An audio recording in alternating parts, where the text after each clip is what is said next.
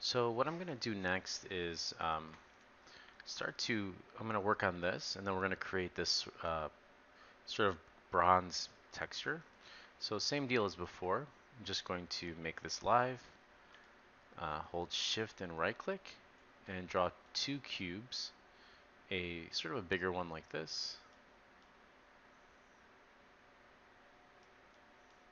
And then I'm going to take that off, hit control D bring that out and then scale that in. This is going to be our metal plate. And um, let's go to face mode. I'm going to hit 4. Delete that inside face.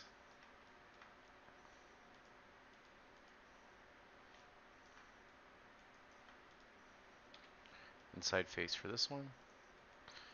Now, the way I'm going to create this is I'm not going to model that keyhole. We're going to do that inside of Substance. But what I am going to do is duplicate this square and then position it something like this.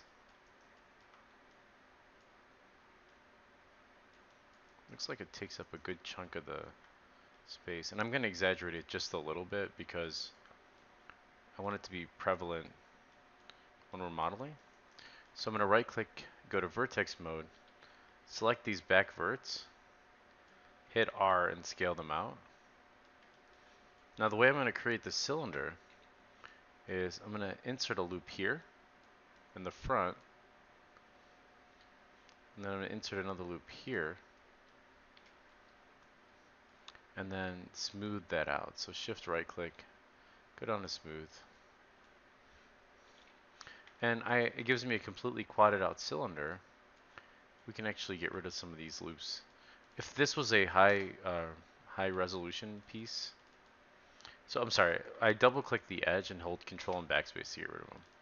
I would actually leave one of the loops in there, give myself, um, like, you know, like if this was going to be a big rendered piece, I'd add, leave those cuts and I would add like a nice curvature. But right now we're going to do all that in texture. Alright, so let's quickly unwrap this.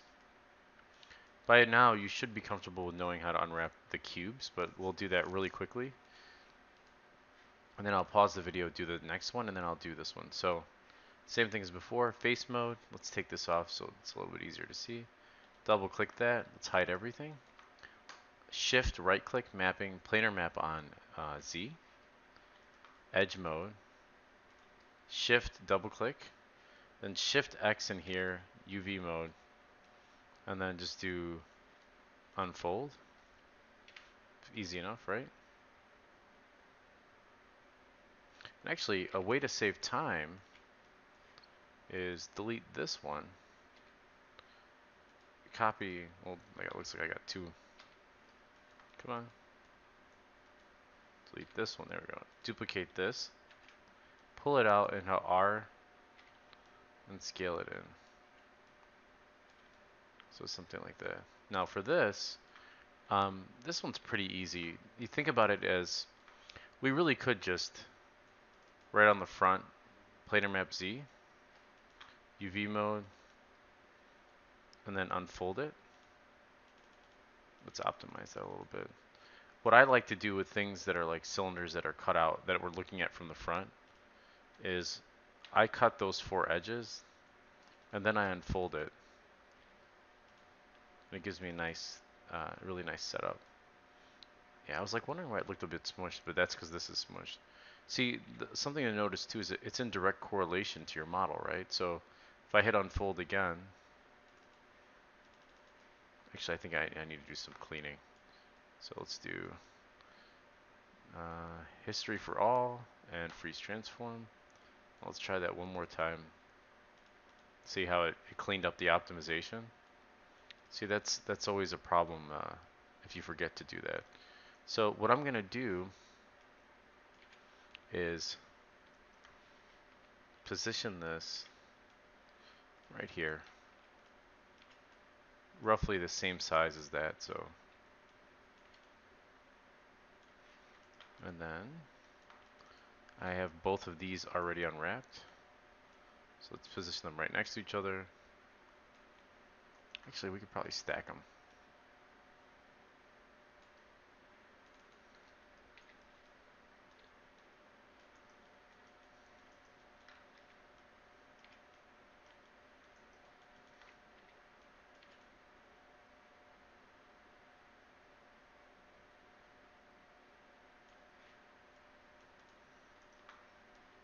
combine this what we could do is, if you want to, if you don't want it to be so, uh, well, I guess we'll just do the same thing, same process before. Combine,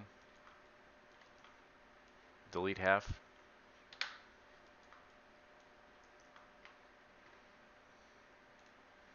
Mirror, and then same deal. History, freeze transform, just cleaning our model. Let's export all this out. Now, I think this isn't going in. Let me double check both of these guys. Yeah, there we go. Okay, let's do that one more time. History, clean all that up, export all.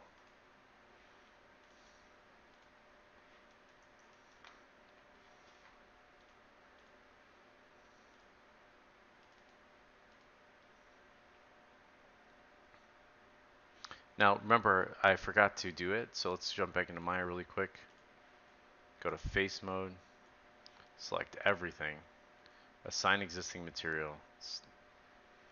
And sometimes it really won't when you go in here and you do this, it won't assign it. So history, let's export all.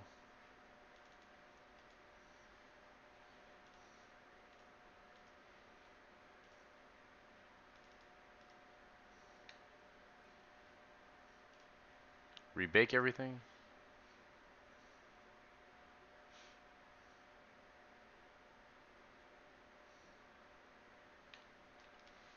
Alright, so grab your paint tool, hit 4. Make sure we're all the way on black, and we do not want any of this included.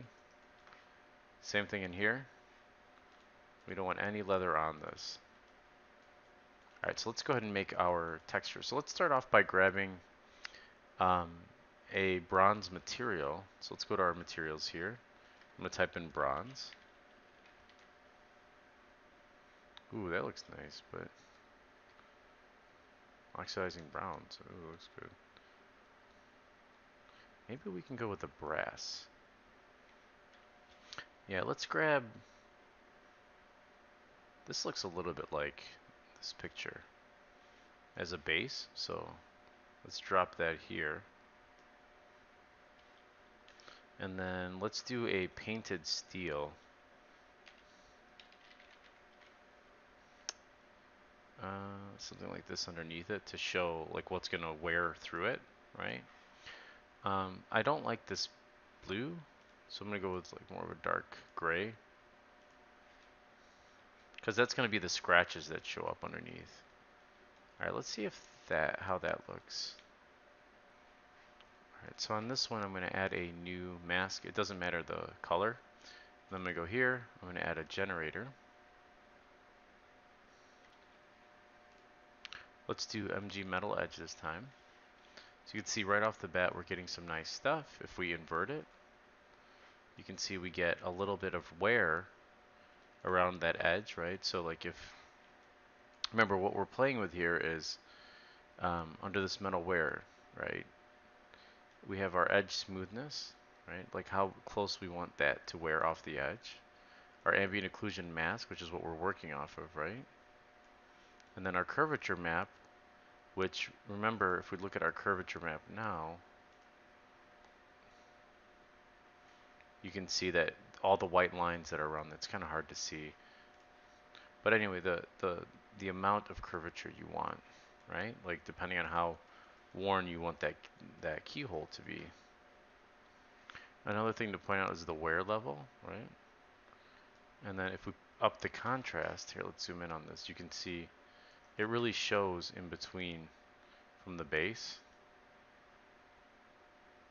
So here's the amount of wear. So we can see that um, painted steel underneath.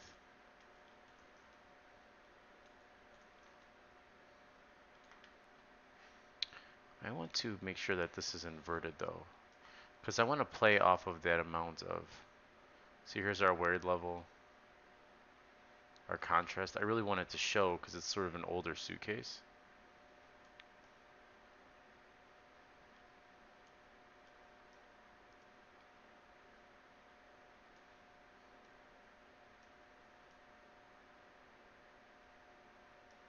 So I'm just kind of playing with this now. Like you can do the same.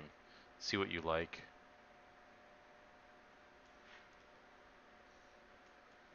Maybe something like this.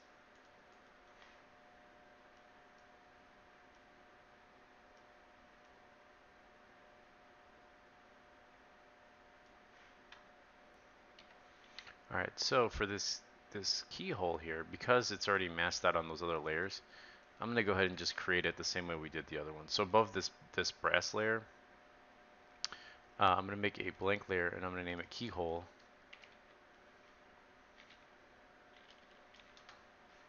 And hit 1 for my brush. And I'm going to go with my hard brush here. And this one I can just leave completely black. Pull the height all the way in.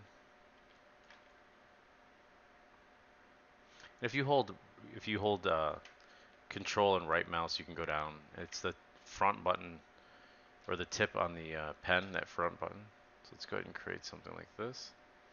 I, I like kind of like not doing it perfect because it shows like it's more realistic. Alright. Um, something else, like when we look at our baked lighting, we want to start looking at thinking about like how do we uniform the look, right? Like it looks realistic, but how do we really get it to look more uniform? And that word falls under sun and sky. And you can adjust, for example, some sort of uniform bounce light coming off, and you can see that it's filling it all. If I hit C for color, you can see, and then M for material. All right. Now, if we look at our reference, there's a few circles here and stuff.